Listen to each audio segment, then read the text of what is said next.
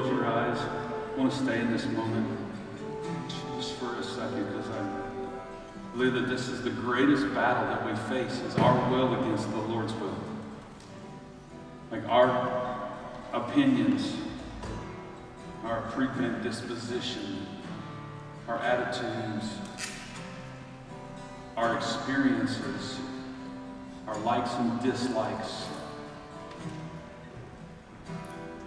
create this battle between us and the Father. Of us trying to push our will onto Him. We say things like this. We say words like, not our will, but yours. We say it. We know it. And yet it is a daily battle of our heart surrendering.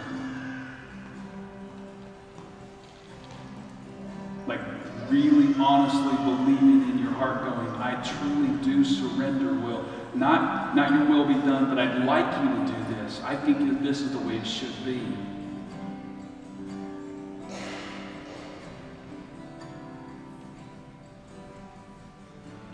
This is that daily battle.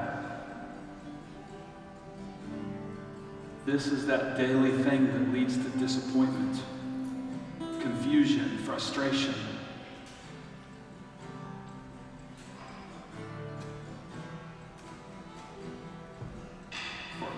Us to move forward with the Lord is surrendering, truly surrendering the will, our will. Truly saying, Lord, I want to be in your will. I want to go the way you want to go. I want things to be the way you want them to be.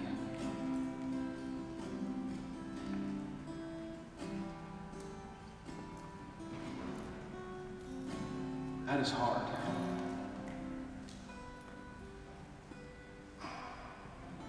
It's an amazing thing. We've been given free will, and yet we are supposed to give it up. Surrender it so that we can actually walk into the fullness of our calling.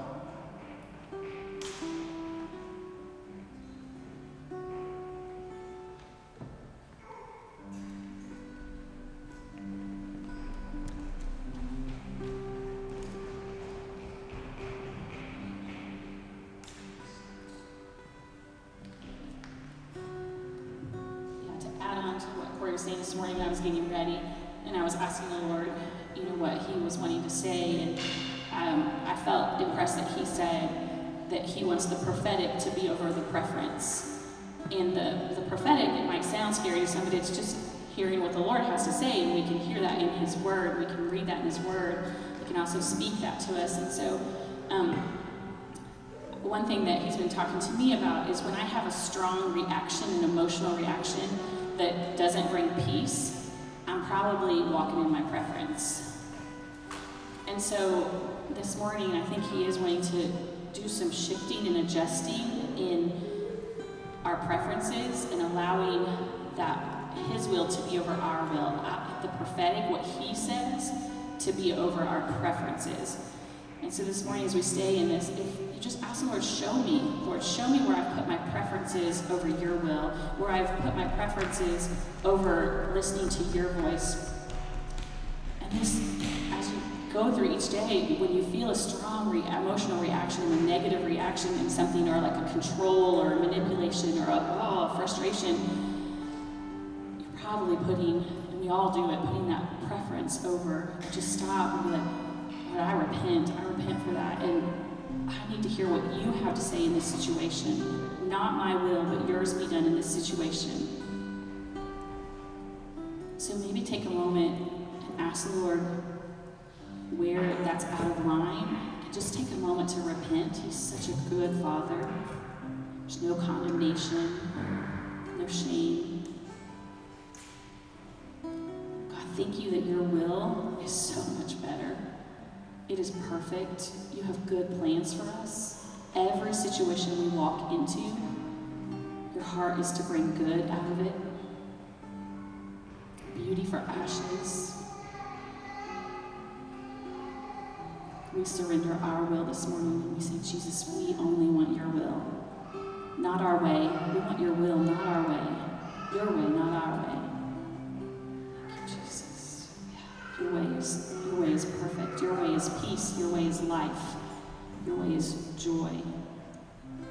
So we thank you, Jesus. Let's pray. Father, we just thank you for this moment right now. Father, I thank you for the time that we have together, and I just ask that you would speak now. Pray this in the mighty name of Jesus. Amen. Amen. Amen. All right, if you're going to title, if you're going to put a title to today, if you're taking notes today, is Tag You're It. We've been studying, we've been looking at prayer, the concept of prayer, the thought of prayer, and um, today I'm going to do some teaching on just the practicality of prayer. And last week I opened up five prayers. I gave you guys five prayers that challenged you to consider every single day, praying each one. We did that as a church. I got on Facebook. If you're on Facebook, you know, I did a live and we posted it on social media. Just a reminder of what it was for that day, and then we went in and my, my goal in my heart is that you would take those five and apply those to your life every single day. That it wouldn't just be one of them, but it would be all five of them, right?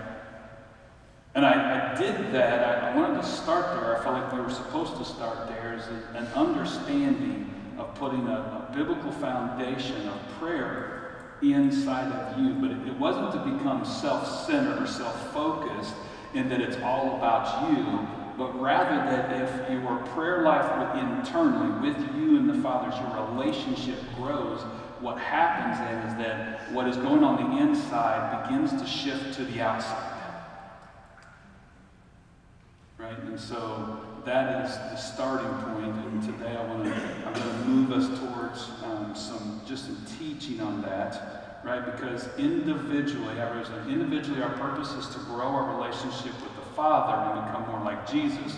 But corporately, we are to walk in boldness from an increased personal relationship with the Father and looking more like Jesus. It opens the door to what we are called to be to the world. Right? So we start with us, and then it comes out. It goes out. And uh, we're going to start Exodus 3.10. Exodus 3.10. This is the Lord talking to, to uh, Moses, and he said, Now go, for I am sending you to Pharaoh. You must lead my people, Israel, out of Egypt. God's this, this declared moment. God is saying, I'm sending you, Moses, to my people. I choose you. Right? So they're God's people but we have a part in it. Right? God has, it's God's people, He has a plan, He has a purpose, and yet we are directly connected to the plan. I think sometimes we forget that. I, I believe that there's this, this thought process that happens around us where God just has a plan, He's going to do whatever He wants, and we just hope that we kind of connect to it. But I do believe that God's saying the same thing to us He said to Moses. Moses said, You lead my people out of Egypt. And I do believe that God is calling us to lead people out of their Egypt. Right?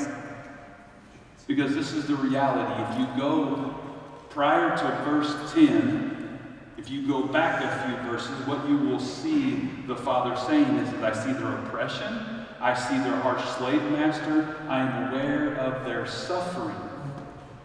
Like he's saying, I've actually come down to earth, I've come from heaven to earth, and I see it. I'm aware. But then God goes, tag, you're it.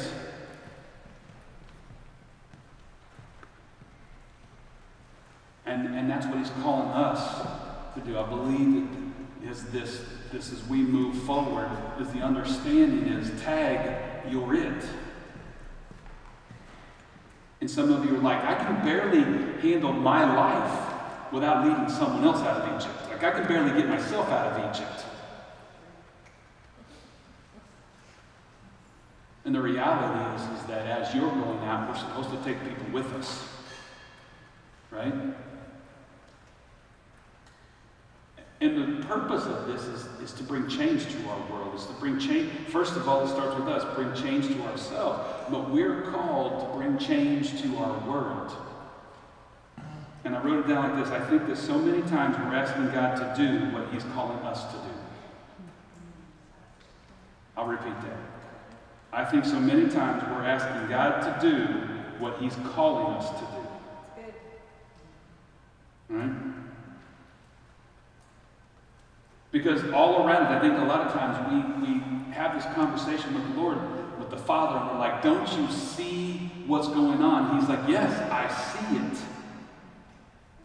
And I'm calling you to do something about it. I'm calling you to get in the middle of it. I'm calling you to, to lead the people out of Egypt, out of their oppression, out of their slavery, out of their misery.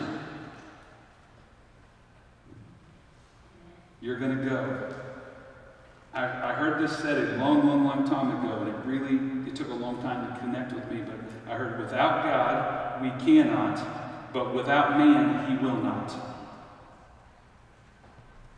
Without God he, we cannot, but without man he will not. And I know for some of you that is messing with you right now because you have this thought concept that God's going to do whatever He wants to do, and if you're not willing to do it, He'll go to someone else. The reality is, is there's a partial truth to that, but the bigger truth is, is there are more other people that need you to step up to the plate. Right? It's not down to one person to serve a thousand, it's one to one. That's our personal relationship with the Father calls us into relationship with people where we see someone, we partner with them, and we go, I'm, I'm here to help lead you out of Egypt.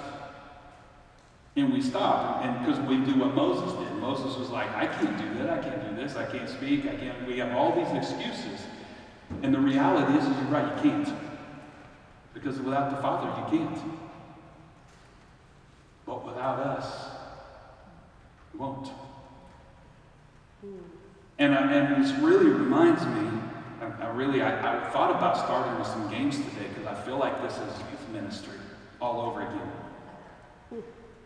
I had a really good game picked out for you guys, but we decided, I decided against it. And the reason why I say that is because when we're in youth ministry, right, we, we, we use these words. We're like, you have a purpose, you have a destiny, you have a calling. And I've been in youth ministry, Michelle and I have been in youth ministry for a long time, and we have some now that are much older, and they are raising kids of their own, and, and I'll have these conversations, and they're like, man, I remember when you said this, and, and, and now I'm just like, well, I guess it didn't happen. Right? And I'm like, no, because without you, God won't. You haven't missed it. You're not too late. Maybe you got distracted, but the reality is, is you always have a destiny. Your destiny has become more like Jesus. You always have a purpose and a calling. That is to, to love on people, love God, love people, and serve people and lead them out of their Egypt. You didn't miss it. You haven't missed it. You're not going to miss it. Unless you just absolutely say to the Father, I refuse to do it. That's going to be tough. So let's talk about your call, right? Matthew 5. Jesus says, You're salt and life. You're salt and light. You're salt and light. Right? You're salt. This is who you are in the world. This is who you are. You are salt and light in the world. So let's, let's talk about that a little bit. What is salt? So new salt brings preservation. It helps people to taste and see the goodness of God, to experience who God is. I want to say it that way, to experience who God is, because I think a lot of times it sounds really spiritual and religious to say, to taste and see the goodness of God. And some of you are like, I don't even know if I understand what the goodness of God tastes like. But the truth of that is, is, is to experience who God is. And then he says that you're light. Well, what is light? Right? You bring understanding, you bring wisdom, you, you bring the word, you bring faith, and you bring illumination. You illuminate things. I know that sometimes on Sunday mornings, um, there are things from, uh, from the Word of God that I will bring to the table, and I can tell there are some people like, oh, should you be saying that on a Sunday morning? That, that might be offensive. I, I, you can see it on their face sometimes. You can see it. And, and the reality is, is this. Absolutely. I have to bring illumination to where their darkness is. Right? This is the reality. It's not going to get ignored by not addressing it. I mean, just, that's just the truth of the matter, right? Sometimes turning on the light, you can see stuff you didn't see before. And that's my role to you, so that as you go out, that's your role to the people.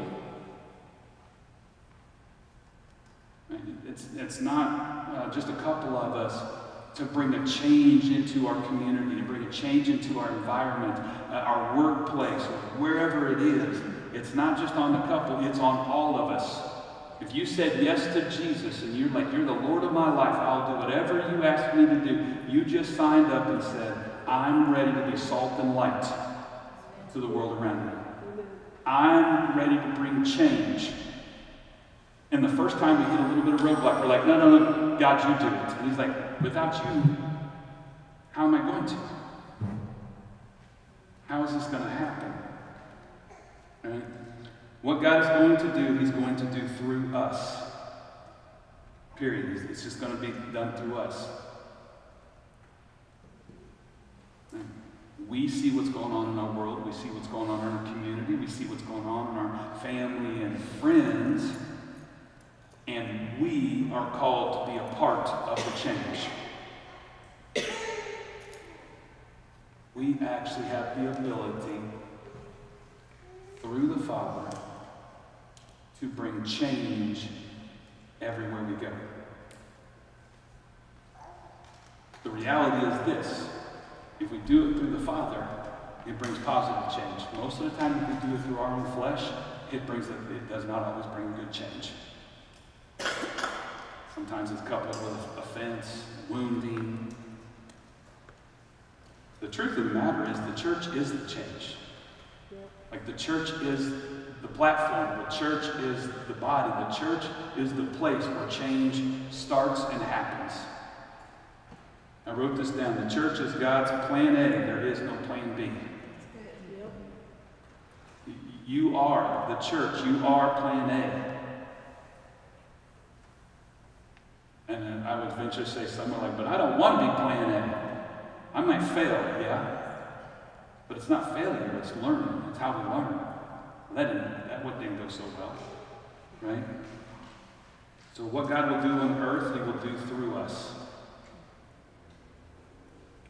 And, um, and as the Lord was, as we were talking, and He says, know, I want you to spend some time on prayer. The reality of this is, is that through this series, I want to build your faith, your, your trust in yourself that your prayer life you feel confident and bold in. As I think that the church, I'm going to say church as capital C, has really relinquished individuality, um, um, responsibility, individual responsibility, and has coupled it to, well, they're the intercessors, or they're on the ministry, the prayer team, or, or they're the pastor, they're the leader, and, and it's, it's it's them. As a follower of Jesus, your prayer life is powerful and important if we understand what we're doing. That's why I want, to, want to do a little bit of teaching, right? What God is going to do through our lives will be birthed in prayer. It's born in the Spirit. Right? This is not about um, that the principle of like this is what Cory said to do. I'm going to try it and hopefully it works. That is not the point of this. Right? It's in prayer that we give birth to the realities that are on the inside of us. In our prayers, we begin to see what's going on inside, what the Father is doing inside of us, the realities of who we are and they come alive. Paul said, I am like a mother groaning in childbirth that Christ would be formed in you. That happens in the Spirit. Last week I was talking about that this is not through head knowledge, this is going to be through spirit knowledge.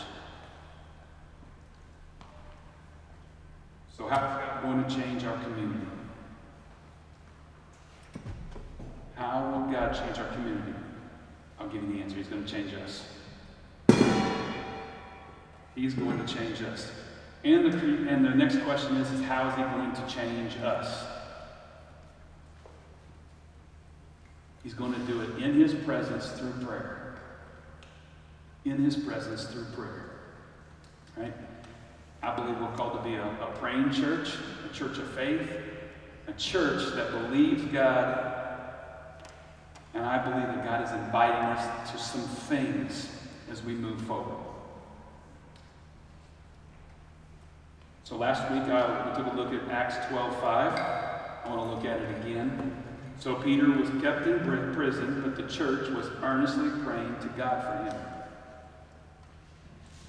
There is no purpose and there is no power in your life apart from prayer.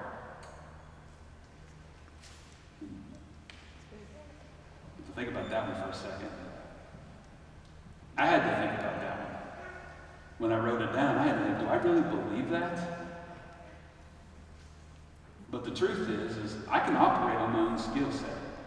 I can operate on my own, on, my own head knowledge and my experiences and can achieve some things.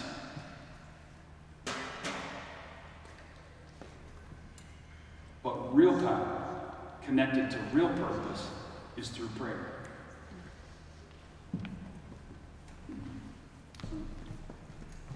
Um, long, long time ago, I came across a guy that said, prayer is the difference between the best you can do and the best God can do. I thought that was a really good statement. That was a revelation to me. Because I remember kind of thinking, well, why do I need to pray? Because God already knows and He's going to do what He's going to do. Why? Why? The reality is, because there's desires in my heart, there's things that I want to, I feel like I'm called to do or we're going to do, and so I've got to press in and pray about it because I can do something, but I want God's best. Not just not just my best, I want God's best. Not just my mediocre, I want God's best.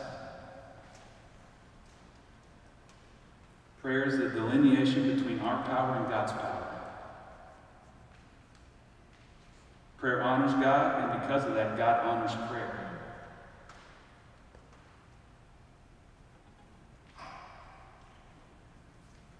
Why would I make a statement like that? Because prayer is our conversation building relationship with the Father, not about what the outcome is. And most of the time, prayer is focused on a need and something specific and intentional that we need to see an outcome to. Prayer is about building that daily relationship with the Father where we're just talking. We're just having this conversation, just like you do with your spouse or your friends, where you're just talking, and through this conversation, you catch little nuggets and little things, and you're like, well, I didn't know about that about you. I would have never thought that. That's, that's wild. And that's what our prayer life is. That's what our, when I was talking about last week, right? Our individual prayer time with the Father that leads to what we do as corporate church. Prayer does not appeal to God's reluctance, but lays hold of his willingness. Right? Like, I'm not twisting God's arm. I'm not trying to change uh, his mind, and I'm not turning God's heart. That is not the purpose of prayer. But I think sometimes we think that, right? We actually come into the we come into that, that zone with the Father of like, I'm here to plead to change your mind. I'm going to twist your arm. I'm going to convince you. I've got seven good points, maybe ten, to change your mind. Instead, it's to connect with what the Father's doing. Hey, Father, can we talk for a minute? Yeah, I know. Give me some insight here. Because this is what I'm feeling, this is what I'm seeing, this is what I'm thinking. But we say this, Not my will, but your will. Jesus told me to pray, not my will, but your will. And so I need to connect with your will in this, and I'm not trying to judge. So I'm not appealing to his reluctance, right? I'm not appealing to that reluctance. I'm laying hold of his willingness. I'm grasping a hold of his willingness. Our prayer time is not to find out what he's hesitant about. It's I need to understand what you're willing, Father. Where's your willingness? I want to connect to your willingness.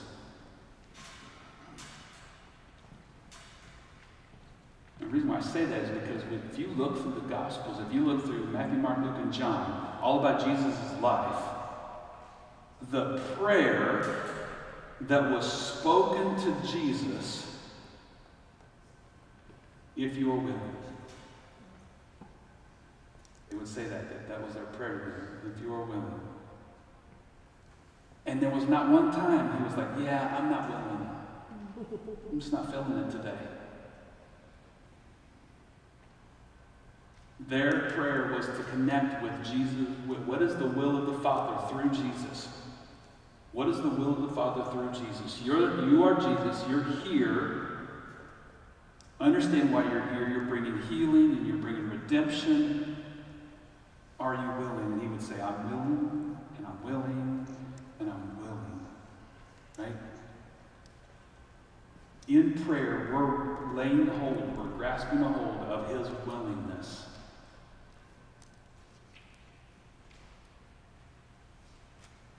And so submit my will to his willingness. In that ability to submit my will to his willingness, I receive from heaven. It's through Jesus. It's through Jesus, right? So that is this is the power of prayer. This is the power of a praying church. This is the power of a praying parent. This is the power of a praying spouse. That's the power of prayer. Right? The praying church has to lay hold of his willingness. Now, I have a whole lot of points to cover. I know last week I did five. Today I'm only doing one. Because I feel like that's what we're going to do. Like the Lord said, just do this one. Just do this one. So here it is. When the church prays, we pray in the name of Jesus. I want to make sure that we understand that. We pray in the name of Jesus. That's where power and authority comes from. Let me give you some scripture to go along with that. John 14, 13 and 14. Jesus said, You can ask for anything in my name. Right? So you're like, What should I pray about? What can I pray about? Anything. According to the Word of God. He says you can ask for anything in my name. So if you're like, I don't know if I should pray about that, that's, if it's in anything, you can pray about it. But remember, the purpose of the prayer is not to twist God's arm, it's to lay hold of his willingness in that matter, in that situation. Right? So he says, uh, You can ask for anything in my name, and I will do it. Yes, ask me for anything in my name, and I will do it. Now, that does not mean we pray out of our own desires, out of our own flesh, right? What it does mean is I'm going to pray and get a hold, I'm going to lay hold of, I'm going to grasp a hold of His will in my prayer time. That's the purpose. Jesus said, pray about anything. So that means I can pray about it. But if I'm going to pray about it, I have to have the right heart. It's not about what I want, it's about what God wants. Right? And I say it that way because I'm going to lay hold of His will, His willingness, from the Word of God. Not my opinions, not my thought processes, not, not my feelings, not my emotions, but from the Word of God. What does the Word of God say about the matter?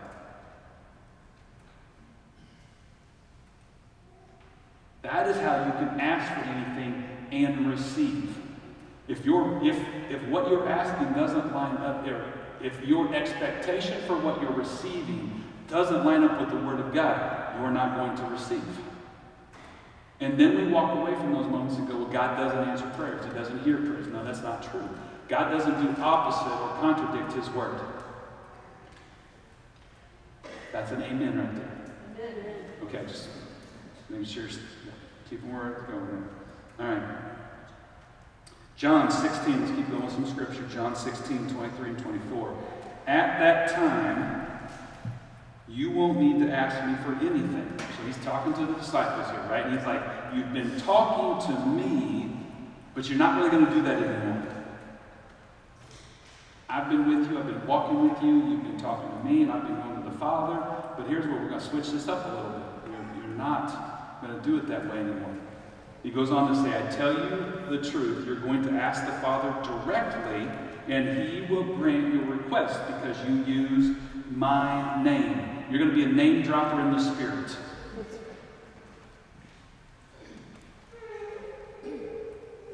Right? You're going to drop my name, and it's going to give you access to the Father.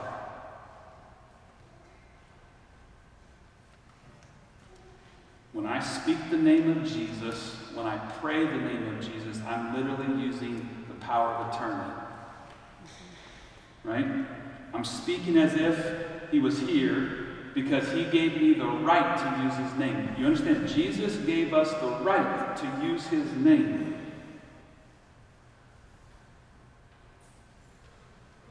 Scripture. Right?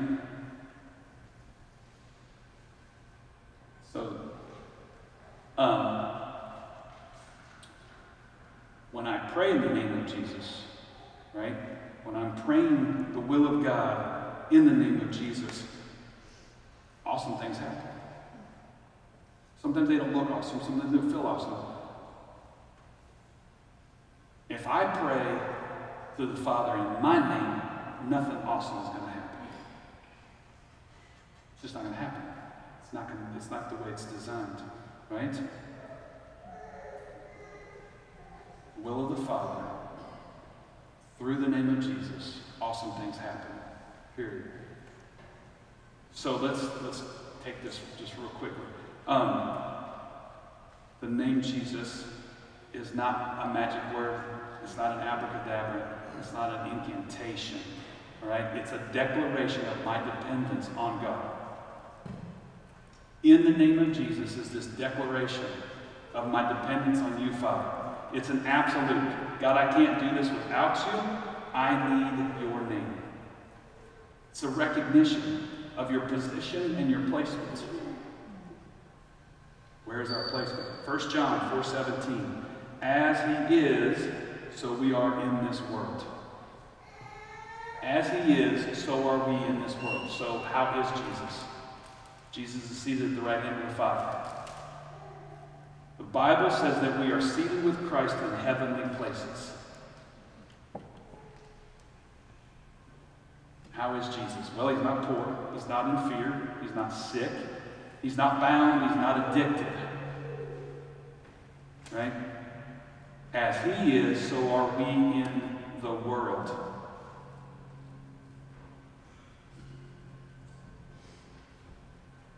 Not as he was, not as he will be, right? But as Jesus is right now. As he is right now, that's how we are in the world.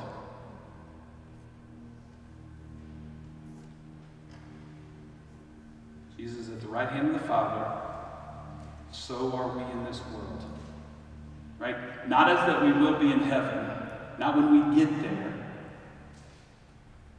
According to Scripture, we're seated in the heavenlies with Christ. So if he's at the right hand of the Father, through him, we operate the same. So how do, why say that? Because I believe that when we understand that, it, it changes our prayers from this prayer of shame or guilt or condemnation, right? We don't pray with fear. Instead, we pray from the understanding of our position and who we're praying through. The reality is, if I go to the Father and if I was to try to pray in my name, He would be like, well, let's talk about Monday. And while we're at it, let's talk about Tuesday and let's talk about Wednesday. And he's gonna he's gonna be like, we're gonna talk about some things. And then he's gonna say, you're immediately, automatically disqualified. You're disqualified. According to Philippians, my righteousness, right, is like filthy rags. And, and you can Google this if you want, but I'm going to tell you, filthy rags are it's not rags covered in mud. It's not good. It's not good, right? So I don't go to the Father in my name because my name will not give me access to a perfect God. So when I come to the Father in the name of Jesus, what I'm doing, I'm coming to um, His righteousness, in His name, in His holiness, in His redemption, and in His blood. That's the position by coming to the Father in the name of Jesus. That's the position that we're coming under. Actually, what we're doing is we're coming hiding behind the name of Jesus. We're hiding behind the name of Jesus, right? So that's how we come confidently and boldly. Because I'm not coming with, with my history, the things that I've done. I'm coming with what Jesus has done. I'm coming with what Jesus has done. That's what you say, Amen. Amen. Just kind of make sure you guys are awake. Proverbs 18:10, the name of the Lord is a strong tower. A righteous man runs into it and is safe. The name of the Lord is a place. It's a place. Think about this. When the Father looked at Moses, right? And he said, If you see my glory, you'll die. Let me hide you in this rock. And I love it because when we talk about this, it's like children's ministry. You're like, what's the rock?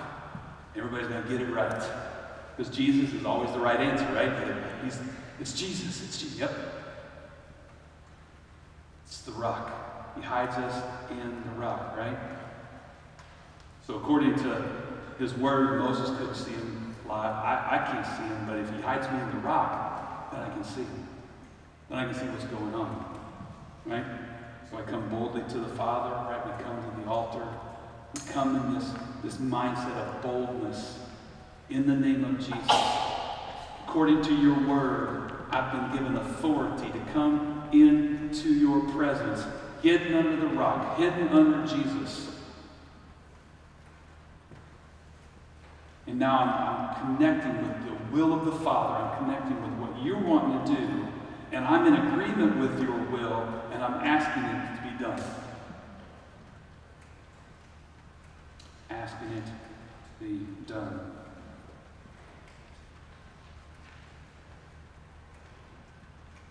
So I'm going to cover one thing just real quickly, and we're going to move into something else. Because I, I, in the, there's been these times where I've been having conversations with someone, and someone's like, "So do I pray to the Father?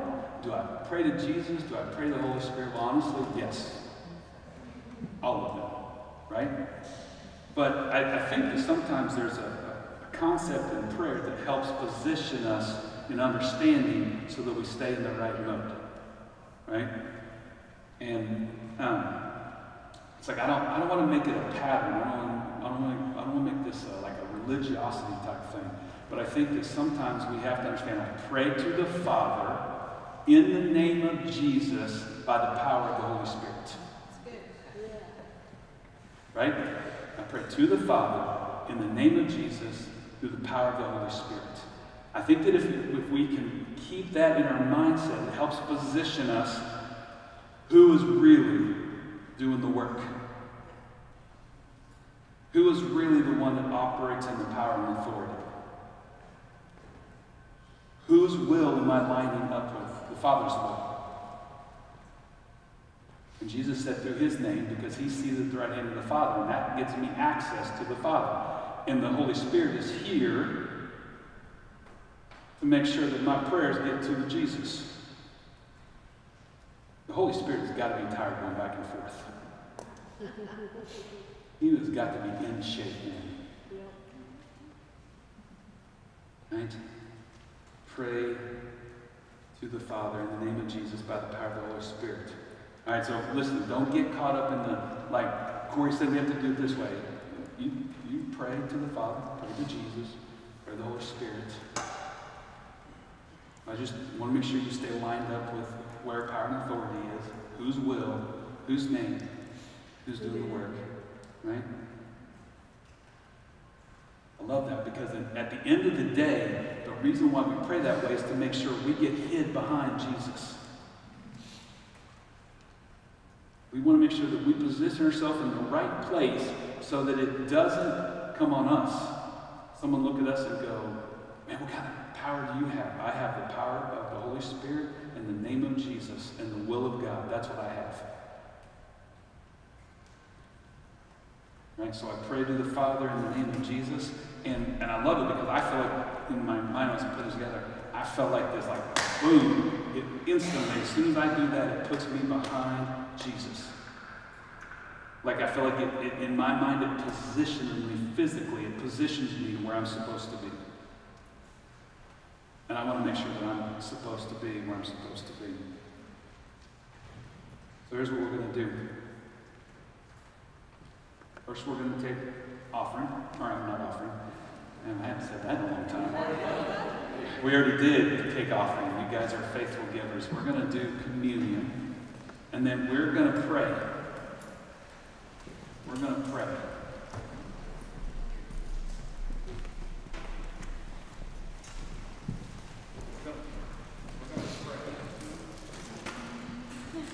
Yeah, I believe that when we bring a word, there are times when we need to exercise that word.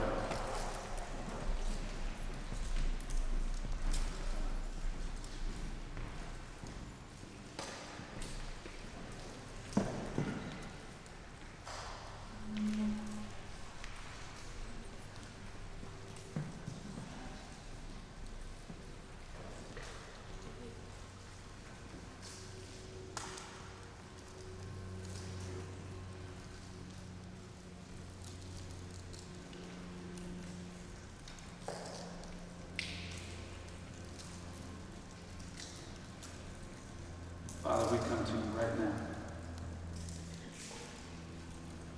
with a mindset of the works of Jesus. A body that was broken, the blood that was spilled. So that daily we can yield to your will and through the power and authority that Jesus has given us, we can see change in us and our world. And we give thanks for that. We, we say thank you. And so we take your body and we remember.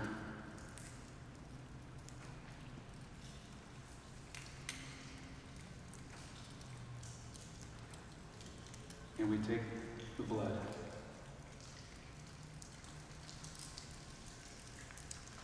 We remember.